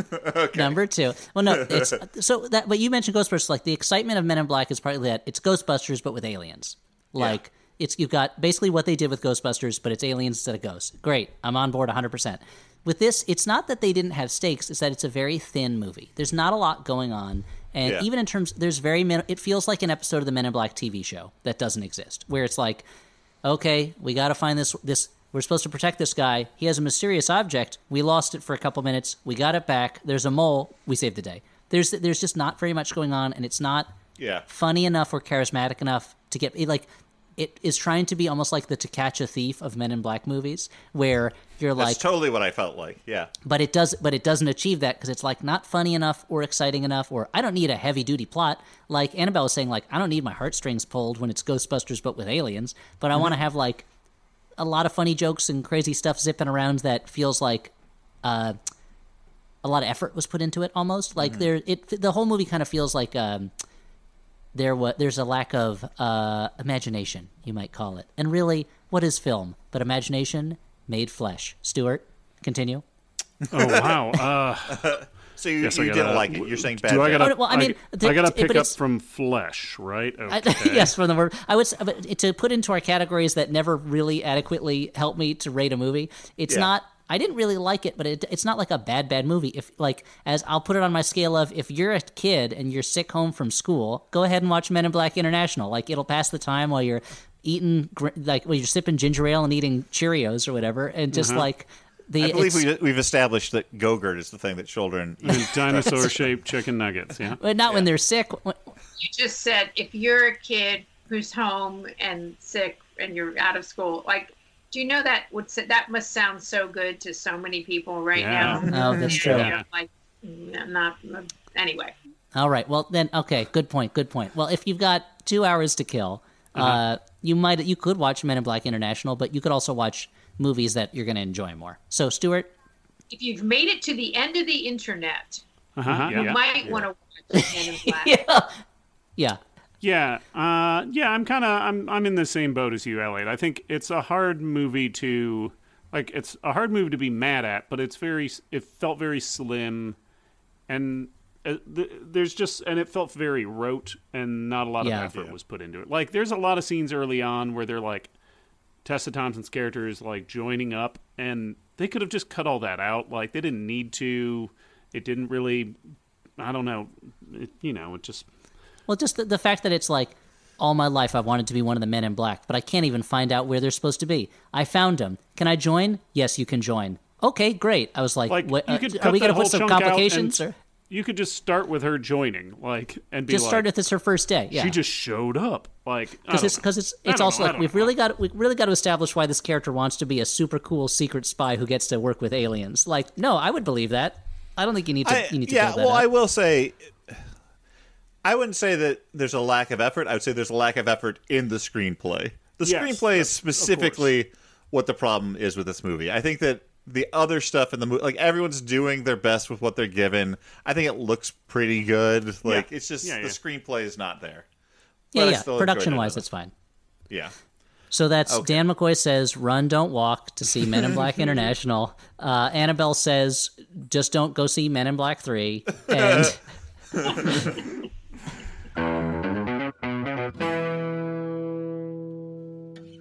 The Beef and Dairy Network is a multi award winning comedy podcast here on Maximum Fun, and I would recommend you listen to it.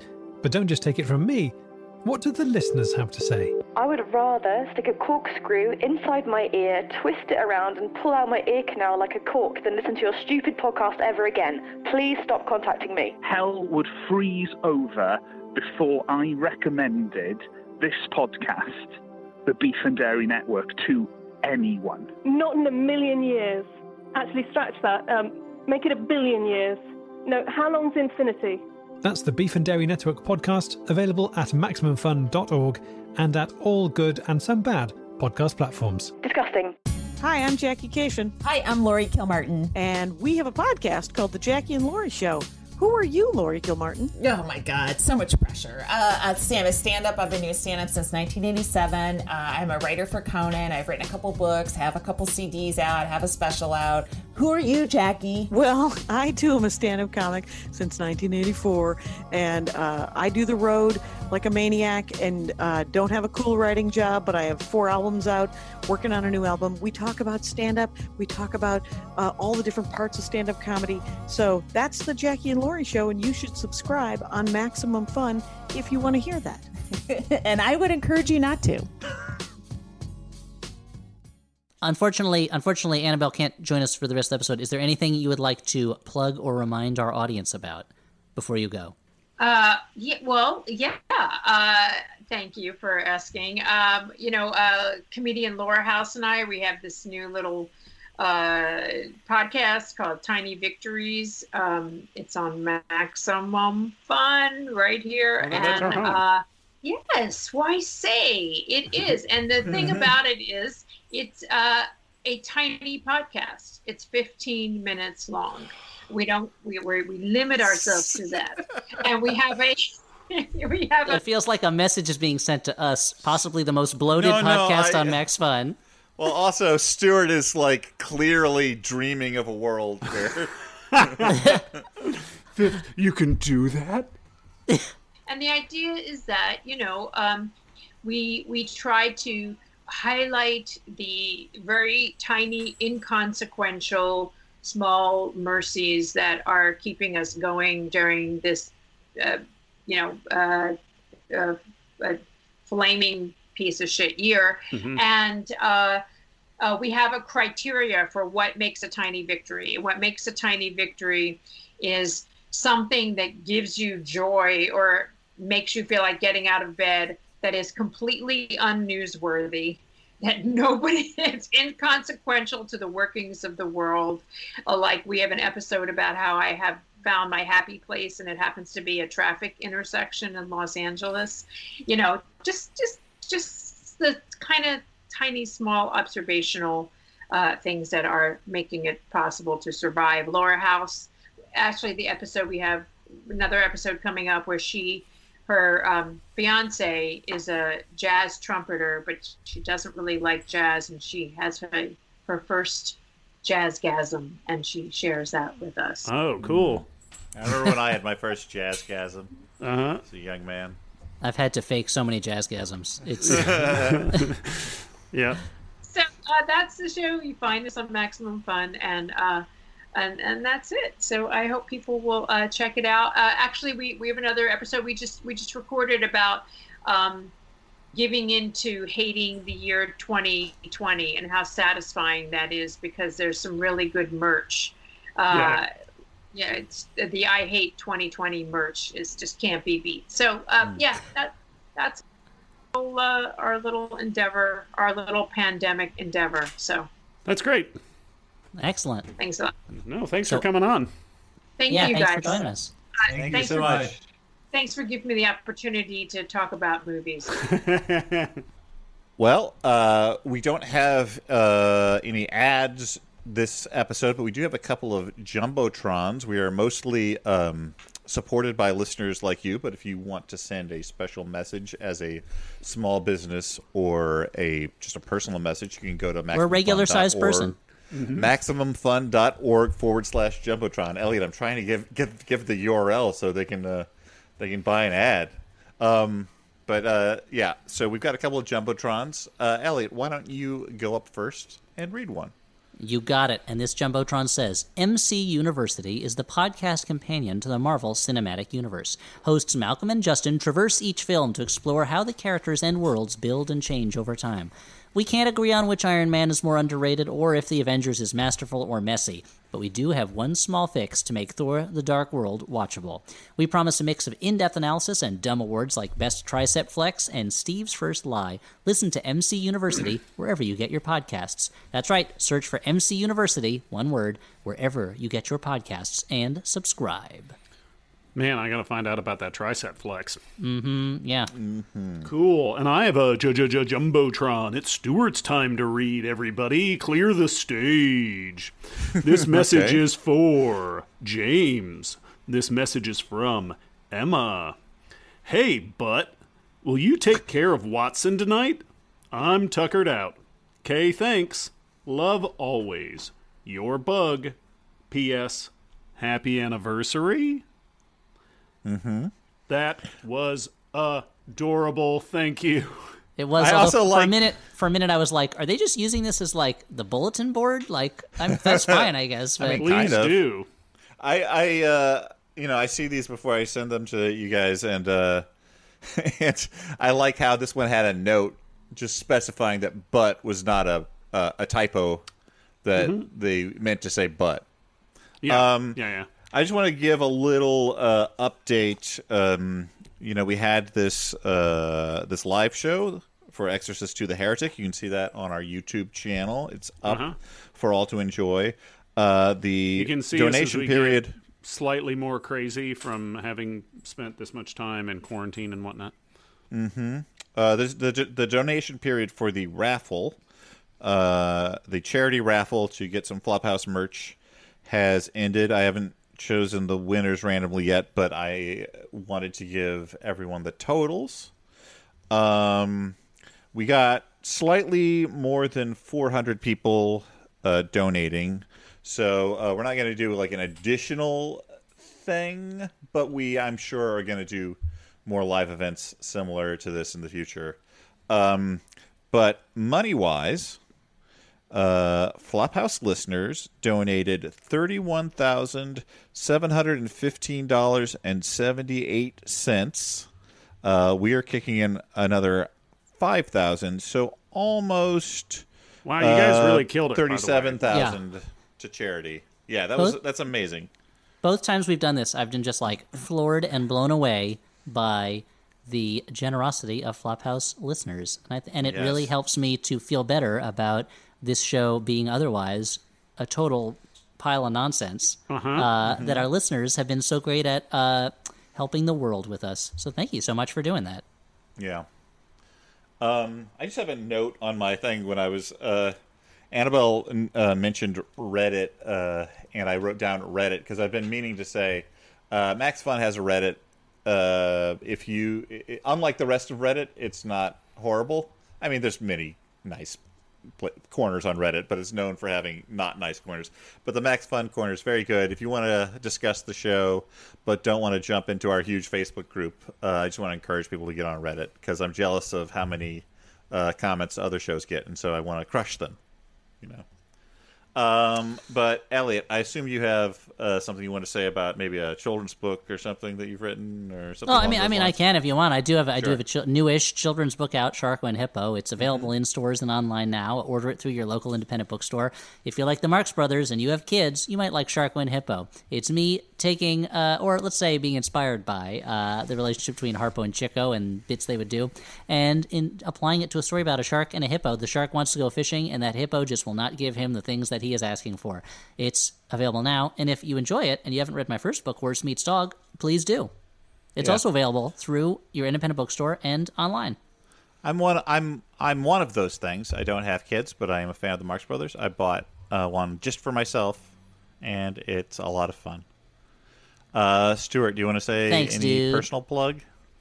Yeah, uh, I own a couple of small bars in Brooklyn, New York, and so if you live in New York or Brooklyn and you want to support a local business, uh, we're doing uh, limited seating, and we also have to-go drinks. Uh, come support us. And if you live in the United States, uh, we are also shipping out uh, T-shirts and hoodies. Uh, sales have been so good that we constantly have to reorder both of those things. Uh, and I'm really blown away by everybody's generosity uh, and for coming out to help. Uh, it also means that uh, I'm doing a lot of uh, packing of shirts into envelopes, and sometimes it feels like I'm trying to stick a dog in a bathtub, but you know that's part of the fun. Uh, and I also, I mean, as long as we're mentioning, as long as we're mentioning stuff, I wanted to say, um, Elliot appeared on the Next Picture Show recently. Oh wow! Talking about one of his favorite movies, The Fall. A cool, ser- that's a cool, serious film podcast. Yeah, if you That was a hear- real serious film podcast, and I think they were not always totally taken with my jokes. But oh, I listened to it. They seem to be laughing at you a lot. Was, Laughing was at were there me. facial expressions that I was Yeah. But uh, I was invited on to talk about one of my favorite movies, The Fall, uh, Mhm. because co-host Tasha Robinson is a big, big fan of it, and it was a great conversation about it. If you haven't seen the movie The Fall, I highly recommend it, but I think you'll still enjoy the conversation, even if you haven't. Man, I I would love to be on that show just to talk to Tasha about her experiences with role playing games. Because she's also a big role playing game enthusiast. It could And- happen. Yeah. You never know. Uh, but let's move on to letters from listeners. The first letter is from Max, last name withheld. Wait, Dan, Who are you saying? Here come the letter Q's. Questions from the listeners. Oh yeah. Here come the letter Q's. We're gonna answer those questions. Yeah, it's the letter forget the Q's. not- It's the letter Q's. Here come the letter Q's. Uh, space stuff, and then aliens too. And we're kind of like secret police that have fancy technology, and you don't need to know about them. It's anti-democratic, and it's a little bit scary when you think about the implications. Uh-huh. But we're stopping aliens. These aliens sometimes they have like a head on a stick, but it looks like a real person's head, but it's actually a robot. Come the letter Q's. Speaking speaking of Men in Black, uh, where where do you Which think is uh, Chris do. Hemsworth had to go buy uh, buy a suit to make him, his shoulders look that broad? Do you, do you, do you, does he have to go to a special store, like a big and broad Like store? buy a suit mean, to make them I'm- look that broad? I'm pretty sure. yeah, because he looks really broad. great in those suits. Do you, you Yeah, because he's a very, very, very handsome man who's in incredible shape. Well, I'll tell you this: his secret is that he went to Men's Wearhouse and Uh-huh. He liked the way he looked in a suit. He I thought it. he his secret is he went to Men's Wearhouse too. and then he said, "Wait, I'm a big Hollywood star. Hold on," and he left and he got a bespoke suit made for him. Yeah, and he went to a tailor. I will say, Yeah. uh, Men's Wearhouse is the place to go if you ever want to order a tuxedo and receive pants that are four sizes too large and look like you have elephant legs. Because that's what happened to me before my sister's wedding. Oh, that's so funny. did, it, did it come with like a giant wallet chain? It was like the guy was like, "Here's the outfit," and I was like, "These look ridiculous." He's like, "Yeah, you look like a clown." I was like, "Are there any other pants?" No, those are the only pants. It was rid- So you you started a revival swing band. yeah, I just had to. I had to do it. Yeah. Um, hey, so Max writes, Dear Floppers, I've been thinking a lot about Bugsy Malone since Alan Parker's recent death. When I first saw it, I must have been about 10 years old, circa 1980, and among my cohort of tween boys, this movie was universally regarded as near perfect. No one would say it was as great as Star Wars, of course, because it fit into a different category. It was just an awesome movie made for us that we were too young to have seen in the theaters, but that some had on VHS or caught on TV. Before the onslaught of early 80s movies designed to win us over like Raiders, E.T., Goonies, Gremlins, etc., Bugsy Malone existed to tempt us with the violence that we thought we wanted, but instead gave us sweetness, friendship, and silliness that we really wanted. Now, of course, the movie is cloying and unwatchable, and the sexualization of the two young Jodie Foster and the other showgirls is disturbing. But what I would really like to see is a sequel featuring the original cast in a gritty neo noir gangster drama about middle aged nostalgia and loss. It would need to include Foster and another Oscar worthy turn as the now washed up Tallulah Real life convicted fraudster John Cassisi, Fat Sam, trying to return to an unfamiliar world after a long prison sentence. And in a redeeming Travolta and Pulp Fiction turn, Scott Baio is an aging Don who keeps getting pulled back into the rackets. My question take a movie you loved Yeah, when you were Yeah, impossible. younger. There's no redemption for him. Unredeemable. Yeah. My question take a movie you loved when you were younger. How would it have to be remade now to fit your current sensibilities, life experiences, and tastes? Thanks, guys. Max, last name withheld. Thank you for Um, writing in, Max. You know who would not like this question? Alan Moore. Anyway, Dan, what do you think? Uh, I mean, obviously, I don't know. There's so many movies I liked as a kid where I would just not necessarily change much other than like cutting out a few elements. Like I watched uh, Monster Squad as part of the Halloween marathon recently. I'm like, well, there are like a couple of homophobic slurs up top that just can be snipped out, no Mhm. problem, no need for them, and the movie's great. Um, but I think in general, like it's just I don't know. I there there are movies. I mean, I- I'll honestly, say, uh, I don't know that my sensibilities have changed that much. Uh, I'm I'm a big kid at heart. I think we all know that. Uh, Yeah, yeah. But but there are things that I loved, like Time Bandits as a kid. That kind of like now, even though. And disclaimer: uh, I, I hate to have to do this, because, because, but like more and more of uh, Monty Python, I have to be like, uh, they're cranky old men who have bad views. But uh, but Time Bandits, as a kid, I loved it, and now even though there's a lot in it, I still love. I'm baffled at my patience as a child. Like, there's that whole sequence in the middle with the uh, dearly recently departed Sean Connery that goes on for a long time, and unlike the rest of the movie, isn't particularly funny. Doesn't have a lot of visual interest, and Yeah. Oh, see, even as a kid, I loved that whole the whole Oh, really? Agamemnon sequence. Well, because Yeah. it's about him finding a finding a father figure. yeah, Oh, who okay. abandons him at the end of the movie when his real parents blow up, Yeah, he's that's- I mean- alone in the world. I mean, they're not the same Hilarious dude. I don't think. I don't think that firefighter and Agamemnon are the same dude. Like, Well, it gives him a little like wink of recognition at the end. well, that's because he's creepy, Sean Connery. Yeah. Uh, Uh, what do you guys have to say about this? I don't know. Well, that's it's it's interesting that you, there are certain things like it's like I'm not I don't really want the things I liked as a kid like grown up up exactly. for me. You know, Yeah. Uh, I am happier having them as kid stuff. But like the way you talk about Time Bandits reminds me the way I used to watch Godzilla movies when I was a kid, where I would sit through who knows how many scenes of scientists just kind of talking or like government officials just not doing much of anything to get to the monster parts Mhm. and it's like I want those scenes to be as exciting as the monster scenes. Luckily, they did it. It's called Shin Godzilla, and it's Yeah. awesome. Uh, The funny thing is, like, I feel like with a lot of those movies, and like with Time Bandits, like, I watch those movies a lot. So, like, I know there's, it's not just that I'm sitting through it because I know there's a monster later. Like, I know there's a monster. Like, I could just fast forward the tape, but I didn't. I just watched it. Yeah. That's true. I mean, a, I, a movie that we watched a lot when I was a kid was Coming to America, and maybe if there was like they updated it, and maybe his son has to come to America, and he's like looking for his son. But Eddie Murphy would never do another Coming to America, would he? Stuart. Uh, yeah, I mean, they're making another Coming to America. That's true. that was that was the joke. But I'm trying to like it's funny that the movies that the movies that I that I can think of from when I was a kid, it's like uh it's more like I watched a bunch of movies where I was like, why were my parents letting me watch this movie when I was Yeah. a kid? Yeah. Like this is not a kids movie, but Uh huh. Like when my mom made me watch Creepshow 2 because she thought it was hilarious, but it fucked me up real bad.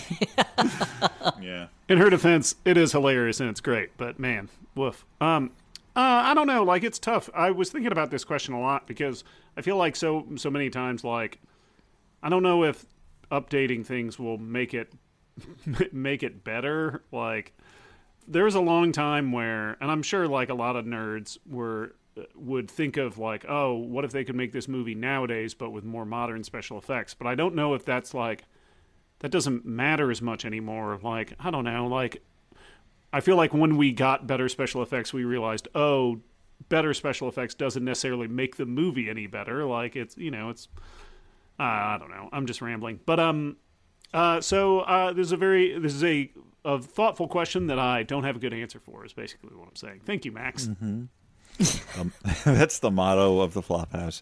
The thanks next, for writing in, Max. Go find those wild things. The next email. Stop is from, chasing your dog with a fork. the next email is from Kevin Dillon. No, not that one. I, I broke with the long-standing last name withheld tradition to just give you uh, that a little joke in there? parenthetical. Yeah. Yeah. Well, yeah. Uh, this is. Uh, it says, "I know the remit of the podcast is to watch a bad movie and talk about it, but has there ever been a movie or series of movies you wanted to cover for the show, even though it doesn't strictly fit the show's manifesto? Cheers for all the laughs, especially this year. All the best, Kevin." Um. I mean, this is this is interesting because like I don't know. I flatter our, I flatter myself that we offer some good criticism from time to time on this show, but I do also enjoy that it is a comedy show foremost, at least in my mind. Maybe maybe not maybe not lately. I don't know how many laughs you're getting. Who knows? But uh Right Just into laugh in- how many laugh laughs? into your computer and then send us the readout. Yeah, Send us send- the data. you know, do like do some ASCII art of you laughing on a dot matrix printer and mail that in. I, mm-hmm. I, Yeah, I guess be I'm sure, just be saying sure to tear like, off the little the little sprocket holes on the sides. We don't need those. Oh man, I had one of those printers. It was such a pain in the ass. I enjoy thinking a little more seriously about movies. Um, and my outlet these days have been like writing little Letterboxd reviews, but I don't know. I've never been like, oh, I wish we could do this other thing because I want to keep it so comedy focused. But I think if I did, it would be to examine a larger sort of filmography of a director I like. And luckily, Blank Check already does that, so Yeah, I yeah. don't need to worry about it. Uh, but Yeah. what do you guys think? Uh, yeah, I mean, I think it's uh, usually it's things like thinking back to movies that came out before we started doing the show, and thus Mhm. they fall kind of outside of the window. And I'm sure we could go uh, revisit them, but like, you know, we still haven't watched Bucky Larson yet, and I mean, that's just that's been, that's been And you've been hanging talking there like about a it hangman's every yeah. week. It's a perennial. Yeah. How Yeah. could how could we not have it? Uh, yeah, I don't know. I mean, there's there's a movie that came up during our Exorcist show that I can't remember what it is now, where we were like, oh, that would be a great one to do a live show about. Uh, and I don't Teen remember Wolf? now. It might have been Teen Wolf. Teen Wolf. I feel like that's the movie. Teen Wolf is the one movie I'm thinking of where I'm like, maybe it's time for us to finally talk about Teen. We need to Mm-hmm. talk about Teen Wolf. The sequel to. We need to talk about Kevin. Yeah, yeah. Sp- sp- you know. I mean, that Also would kind of monster explain some of yeah, it would kind of explain some of Kevin's behavior. This this murderer is great at basketball. Yeah. Don't you have a problem with the fact that he's a murderer? Would Tilda Swinton also get to be a, a werewolf in it though? Because I think she would really kill it. She would be a great. And John in C. a movie. Reilly would have been a great werewolf. Man, Yeah, but John C. Reilly's going to be. I mean, he, he could. I mean, now we're just talking about making a new Teen Wolf movie, and John C. Reilly could totally be the dad in that. but we don't He'd know. be great. Uh, wait, did did Kevin kill uh, John C. Reilly in that movie with a bow and arrow or a gun? I think it was a bow and arrow. And was it I a will sil- say- was that a silver tip on that? Because I think if he was a werewolf, he could survive it, right, guys? Sure, He- it just needs to have silver on there. Yeah, and then he and then it'll kill him. I know that like if this movie existed in real life, Elliott would probably hate it because they would get the wrong people to work on it. Uh, but I do think a comedy remake of The Wolfman starring John C. Reilly could be very funny. Oh, I think Like- that I, it's it, it it's only the difference of is it going to be the kind of comedy where it's just ad lib nonstop, Yeah. or is it going to be like a real movie that has jokes in it? He would be fantastic in that. No, Elliott, Yeah. I want my comedies to have a complete like mirror image version that is just alternate takes that you can easily cobble to uh, sell in the DVD box. Well, it's like are the, each of the scenes going to be sketches, or are we going to have a real? Because there's a lot of that would be really good. Dan, you should write that and then send it to John C. Reilly. Yeah. Okay, you know, I you know I just got him in my contact list. So I'll Yeah, let me. it. I'll I'll pick, pick up my yellow pages. I'll see if I can find his address. Uh, I think Just look it up is the- under Reilly. Yeah. Well, I think this is the part where we talk about recommendations, movies that you probably should watch instead of Men in Black International. Here Uh, come the recommendations. Movies we actually liked. Here come the movie Rex. Here come the movie Rex. Uh, partly because I actually liked it quite a bit, and partly to ignore Stu- uh, ignore to annoy Stuart. What? partly to annoy Stuart, I'm gonna recommend. You're gonna recommend uh, Game of Thrones, the TV show, or some shit? I'm gonna ma- recommend American Utopia, Uh, the David Byrne concert, uh, the Broadway show that was captured by Spike Lee and is available now on HBO Max. Um, was captured by Spike Lee and kept in a cage in his basement. he put it in a little mason jar, and sometimes he would shake it to see it Mhm. get agitated. No, Eventually, uh, he got a good he got a bid from the National Zoo in Washington D.C., and that's where it lives now. I I uh, never smashed buy tickets so hard as when I got a chance to uh, see the show on Broadway. Uh, I was like, you know, I don't care. I don't care. I'm not going to look at the price. I David Byrne is doing a Broadway show. I'm going to see this. I saw it live on Broadway. It was a fantastic experience, and the movie is also a fantastic and different experience. You know, it's it's staged for the theater, obviously. So some of it in, in a movie, you're missing the experience of not only the immediacy, but like seeing the whole stage at once. But it is a very smartly shot movie in a way that you know, uh, Stop Making Sense is. It's not the movie that stopped Making Sense is, but no, nothing could be as a concert movie. That's really a high benchmark, but it is a, a very good movie, a very joyful concert film, and especially right now, just something that's uh, fun and uplifting. Uh, American Utopia, I enjoyed it a lot. I can't wait to see it. I haven't watched it yet, but I can't wait to see it. What's that on HBO Max or something? I do believe so. hmm Hobo Max. Hobo Max is a hobo who wanders through the neighborhood collecting cans. Uh huh. but he's he's pretty extreme. He only collects Mountain Dew cans. Oh yeah, that's the they, Mountain Code Dew Red. cans and Surge. Yeah, Code Code Reds. Red. Yeah. That's all. Specifically, the most extreme. Yeah, and and uh, Takis. Uh, but those aren't He's the- cans. he's- that's he's the- that's pla- uh, bags. He's the hobo who has a GoPro. GoPro hobo, they call him. Hobo Max. Hey, Elliott, you're already talking. Why don't you uh, recommend something? Oh, sure. I know it's uh, we're releasing this after Halloween and recording it after Halloween, so the time for horror movies is over. That being said, I finally got to watch a horror movie this month. I watched a, a new movie that's on uh, Netflix. Uh, it's called His House. Oh, I, Uh, I watched some of that last night. It was great. Yeah, it's uh, it's directed by Remi Remi Weekes, and it stars Wunmi Mosaku and Sope Dirisu. I'm sure I'm pronouncing their names wrong. And it tells the story about two uh, refugees from Sudan, a husband and wife, who are trying to restart their lives in England, and are dealing with both the unsettling feeling of trying to start a new life in a place where they are seen as outsiders and they don't really and they don't feel comfortable, but also they are quite literally haunted by the things that they've left behind them and perhaps uh, their history. And it's really, really well done. It's uh, I thought it was really great, and it just goes to show. I think horror is, and I'm not I'm not the first person to say this, and I'm not alone in it. It's probably the best genre for dealing with traumas that are hard to talk about through drama without coming off as either pretentious or lectury or cloying. And so it does a very good job of giving a little taste of the kind of post traumatic uh, stress and feelings that come with being someone who's a refugee from a violent situation. But it's also just like a really solid, like really well done horror movie. It's got lots of good scares and it looks beautiful. So and the acting's great in it. So His House now on Netflix. Yeah, I, I, I, you know, I put that on last night after work, and I was like, oh, uh, you know, you, you uh, are introduced to the characters, and you find out that they're refugees, and I'm like, how can this be- movie be scarier than what they're already going through? And then, of course, it, you know, is a scary movie. Oh, there's a scene where where uh where Rial, the the wife of the two, she is she has to get from the house that they've been given as a on a probationary uh, trial basis from the government to the doctor's office, and she's just getting lost in these streets and does not know how she can ask someone for help or how to get there. And it is it that that scene alone is frightening.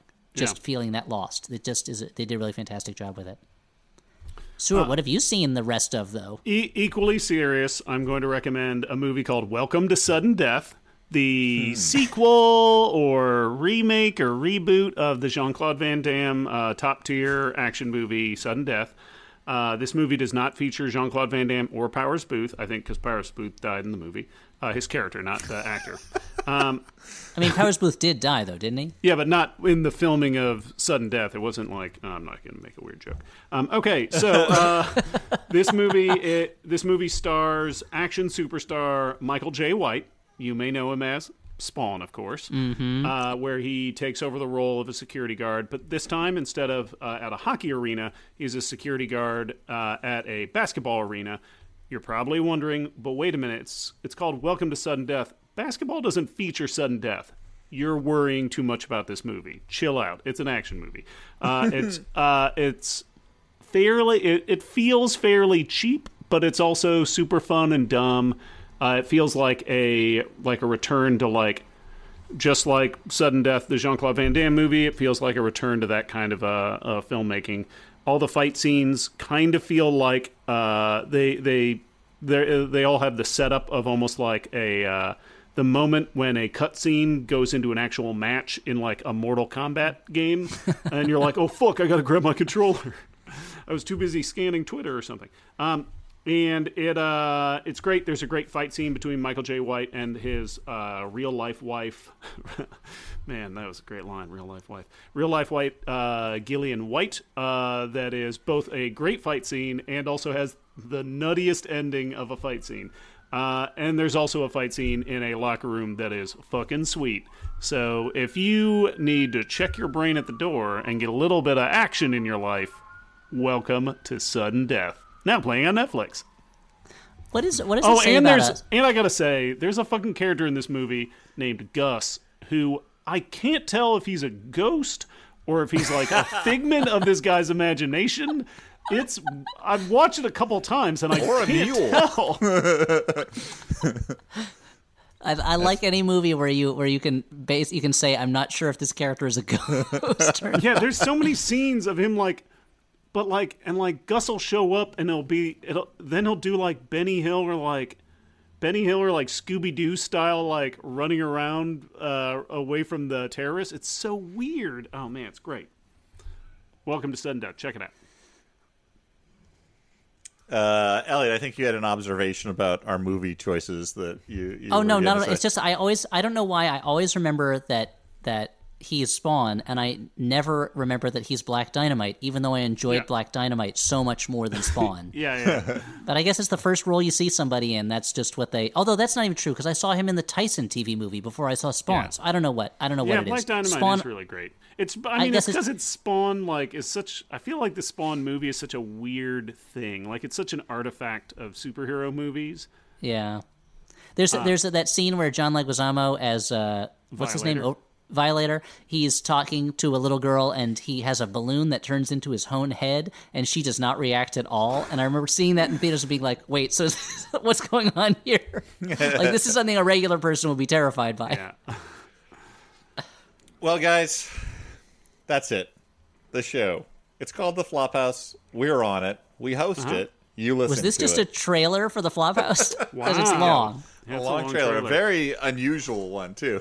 But So um, in the in the middle of an episode of Jordan Jesse Go, there's just going to be a two hour promo ad Yep. for Flop House.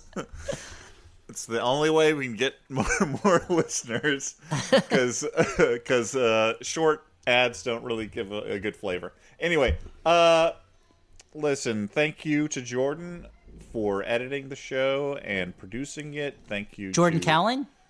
Jordan Kauwling. Uh-huh. Thank you to Annabelle Gurwitch for being our guest. Um, And for really, for ro- I thought she did a, I thought she did a great job, considering she hadn't seen a different movie. Considering she, It was not- bound to happen someday, and she yeah, was. no, it really was. I honestly thought one of us was going to be the first one to do it because we have done movies where there are several other movies with the same title. Uh-huh. And there have been like sort of panic texts back and forth e- every once in a while, being like, "Is this the one that I was supposed to watch?" That's why I Uh, checked about Uninvited. I was like, this is the movie, right? The one Yeah. with the cat Yeah. from the Yeah. 80s? Because there's Uh-huh. like 10 movies called Uninvited. There was, But, uh, and there was that time, at least one time, I feel like when we were recording Old Style, Dan, you fell asleep through like a third of the movie, and we just rolled Yeah. with it, and that was great. Yep.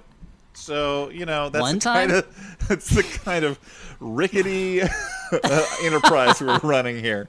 Yeah. Uh, but thank you for listening to it, uh, and thanks to our network, Maximum Fun, for uh, being our network. But all things must come to an end, including this episode and me talking. So I've been Dan McCoy. I've been Stuart Wellington. And this is Elliott Kalan over here. Bye.